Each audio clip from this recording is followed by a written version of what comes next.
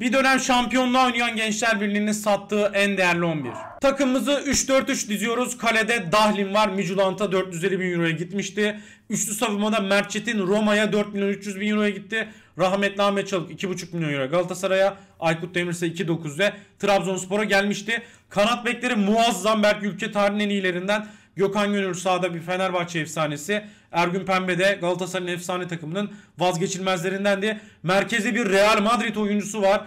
Ee, Gençler Real Madrid'de 5 milyon euro gibi o dönemin iyi bir parasına gitmişti. Yanında da Berat Özdemir var. Altyapı ürünü Trabzonspor'a gitti. İleri üçlü transfer kapışmalarına sahne oldu. Okan Koç herkes isterken Beşiktaş'a, Tarık Taşgünse Fenerbahçe'nin yolunu tutmuştu. Santrfor'da ise Kral Ümit Karan var. Şampiyonlar Ligi'nin e, güzel golcüsü. Sizce bu takım Prime döneminde bir araya gelse şampiyon olabilir miydi? Görüşlerinizi yorumlara bekliyorum.